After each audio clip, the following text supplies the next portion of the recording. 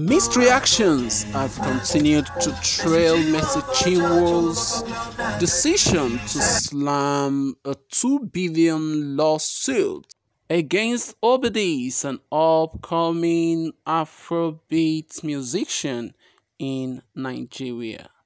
In the lawsuits filed by Mercy Chinwo through her lawyers, she maintained that Obidiz should immediately cease and desist from any further use of her name and her image from his produced music.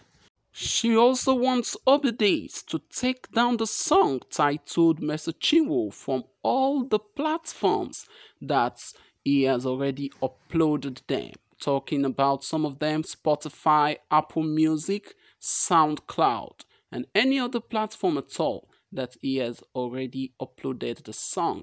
That he should also take down the promotional video containing the image and clips of Mercy Chinwo, including YouTube, Instagram, Facebook, and any other social media platform where he has made the promotion.